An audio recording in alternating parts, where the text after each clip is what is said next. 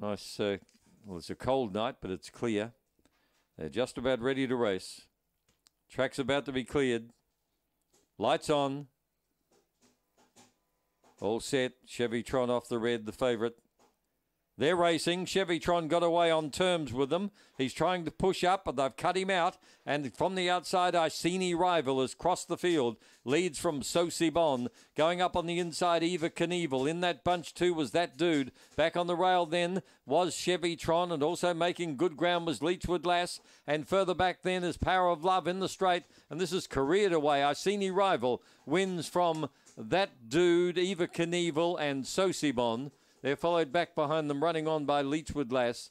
Chevytron was there, and uh, further astern was Mr. Smoothie and Power of Love. They've gone 2307, and your numbers are 7, 2, 3, and 8.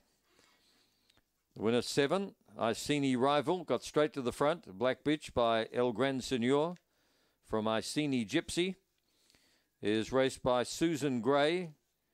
So again, the Broken Hilliers uh, getting in the picture. Rebecca Macaulay Fry is the trainer of this greyhound. It did come down from Broken Hill uh, via Bendigo or vice versa. And uh, it's an April 15 whelp. Iceni Rival. That's win number three. Second to two, that dude. Third to three, Eva Knievel. And fourth was